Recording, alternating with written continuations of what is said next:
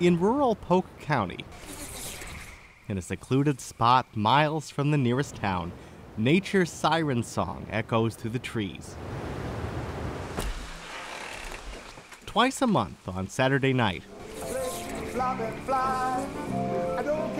a 100 year old schoolhouse becomes one of northwestern Wisconsin's most unique music venues.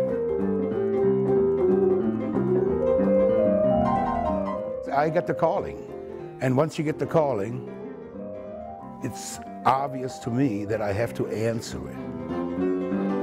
I said, flip, flop, and fly. Manfred Schönauer grew up near Cologne, Germany. The son of a musician, Manfred discovered his calling at a young age.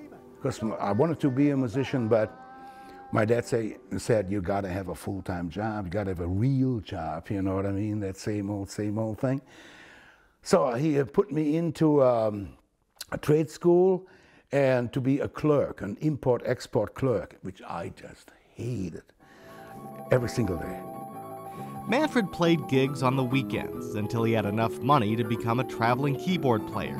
One day, after a gig in Spain, opportunity knocked. I got a knock on the door, and, and the lady says, Manfred, they are regrouping a band, and they might have a chance to go to America. I said, I'm your man. I'm your man.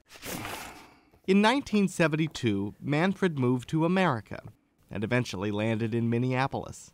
This is the band that I, uh, that, that I came with to the Twin Cities. After a few years, he chose to trade Twin Cities traffic for the country life in Wisconsin. If home is where the heart is, Manfred decided that's where his keyboards should be as well. Let's look at churches, schoolhouses, factories, whatever it is, but have a country setting. And uh, then the ball started rolling in 87, we found this the Pipe Lake Public Schoolhouse in eastern Polk County. It's so remote, it's almost hard to find by accident. The closest town is nearly 10 miles away. Manfred not only performs here, he lives here. Had a refrigerator, stove, toilet, not much more than you need. You know, I didn't know anything about heating or plumbing. when he moved in, yeah, it was a lot of work, you know. Manfred gave the two room school a makeover. He turned the upstairs classroom into a concert hall. This is now the kitchen, and used to be the original kitchen too. the basement became a living uh, space for him and his wife. After years as a transient musician, Manfred was finally home. It's inspirational, you know, and it's just, I just love it, really. I mean, there. If you listen to that, it's just great. His dream realized, Manfred renamed the building the Pipe Dream Center. Here it is, the building, the place, my own music, yeah! You know, and it, it grew from there. I started writing my own music, electronic music.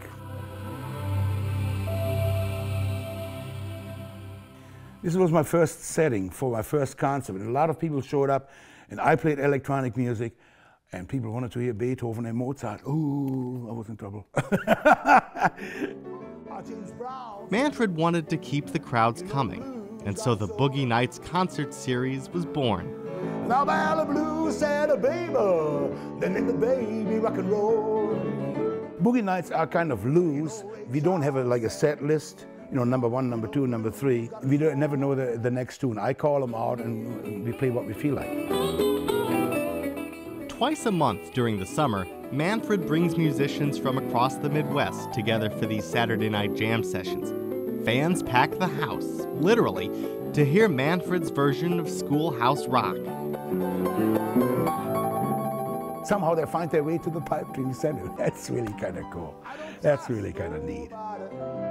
When it comes to my girl. Some say you shouldn't bring your work home with you. Ah, oh, things are getting funny all over the world. But for Manfred Schönauer, working from home suits him just fine.